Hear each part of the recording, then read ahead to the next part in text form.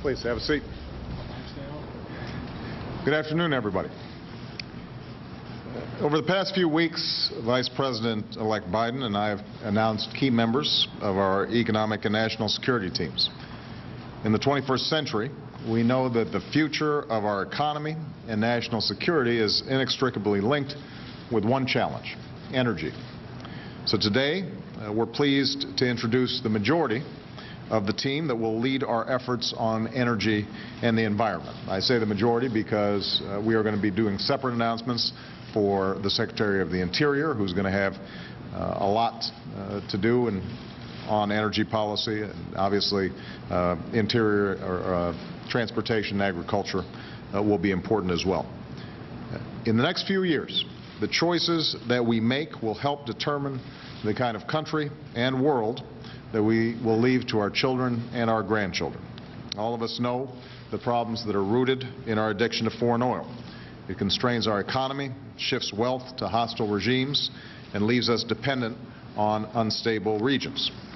These urgent dangers are eclipsed only by the long-term threat of climate change, which, unless we act, will lead to drought and famine abroad, devastating weather patterns, and terrible storms on our shores and the disappearance of our coastline at home. For over three decades, we've listened to a growing chorus of warnings about our energy dependence. We've heard president after president promise to chart a new course. We've heard Congress talk about energy independence, only to pull up short in the face of opposition from special interests. We've seen Washington launch policy after policy, yet our dependence on foreign oil has only grown, even as the world's resources are disappearing. This time has to be different. This time we cannot fail, nor can we be lulled into complacency simply because the price at the pump has, for now, gone down from $4 a gallon. To control our own destiny, America must develop new forms of energy and new ways of using it. And this is not a challenge for government alone. It's a challenge for all of us.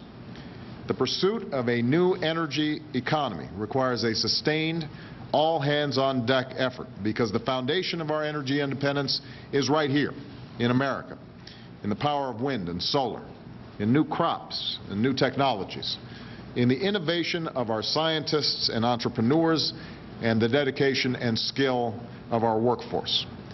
Those are the resources that we have to harness to move beyond our oil addiction and create a new hybrid economy. As we face this challenge, we can seize boundless opportunities for our people.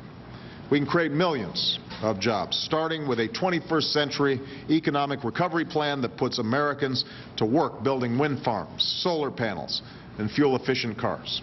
We can spark the dynamism of our economy through a long-term investment in renewable energy that will give life to new businesses and industries with good jobs that pay well and can't be outsourced.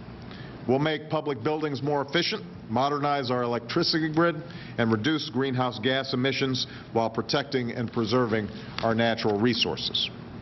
We must also recognize that the solution to global climate change must be global. I spoke a few days ago with Senator John Kerry, who updated me on the recent climate negotiations in Poland.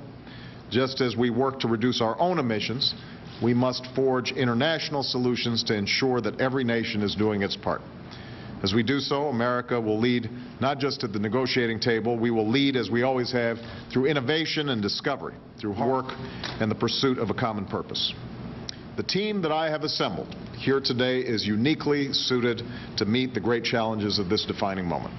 They are leading experts and accomplished managers, and they are ready to reform government and help transform our economy so that our people are more prosperous, our nation is more secure, and our planet is protected.